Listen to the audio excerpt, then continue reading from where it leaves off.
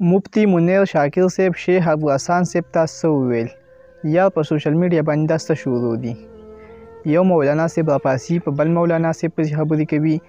بل مولانا صیب راپاسی په بل پسې خبرې کوي څوک وایي تراویش دي څوک وایي نشته دی زموږ مولیان صاحبان په خپلو کې په جګړه دي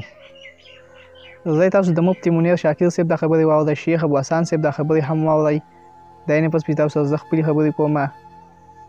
نو زه تاسو دا ویډیو وګورئ دا یې پس پې موږ خپلې خبرې کوو دا منکر حدیث هم د دغه خلکو په نقشه قدم روان دي د هغوی په لار روان دي او دا درته ووایم چې چا د پیغمبر صلی الله علیه وسلم په حدیثونو کې طعن وکړو طعن معنی یعنی شکی پکې د خلکو پیدا کو چې دا د حجیت او دلیل لپاره کافی نه دي د په اصل کې د الله په دین باندې گزار کړی دي پرون می د یو د یو میک اپی مولا خبره اورې د میک اپی د رومال او بریتونه خکلی خریلی بے دبی معاف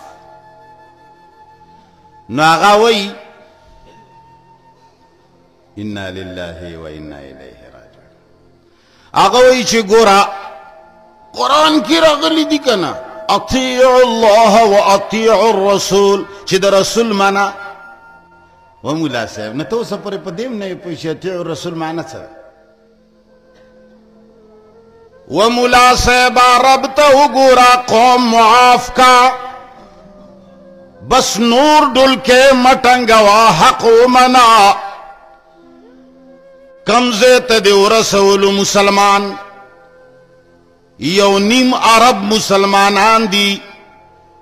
خو د دومره غوني یهودو مقابله کوله ملا صاحب دې ځای ته تا ورسول یو نیم عرب څه د پاسه مسلمانان دي دوستانو تاسو دا ویډیو وکتله چې شیخ ابو حسن صاحب یو ویډیو کړې وه چې دا مونږ د حدیث دی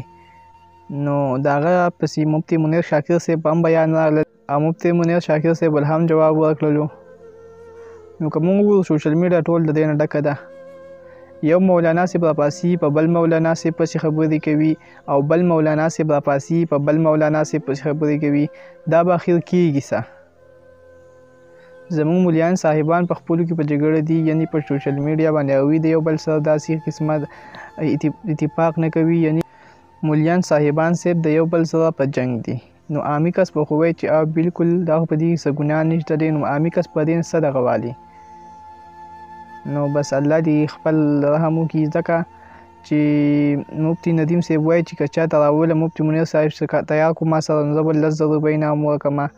او یعنی څوک وایي تراویح شته او څوک وایي نشته دي تراویح نبی علیه السلام کړي صلی الله علیه و آله وسلم نو بس الله دې زموږ په مليانو باندې خپل رحم وکړي چې دوی د یو بل سره اتفاق وکړي او یعنی د یو بل سره ملګرتیا شروع کړي نو عامي کس به هم صحیح شي او مليان به هم د یو بل سره اتفاق وکړي نو بیا به داسې دغه نه وي نو دا ویډیو ما چې تاسو هم شریک کړم د ویډیو کتلو ډېر زیاته مننه سید جان افیشل چینل سره سبسکرایب کړئ اوس ما دا کې اجازه تو د لوی الله په امان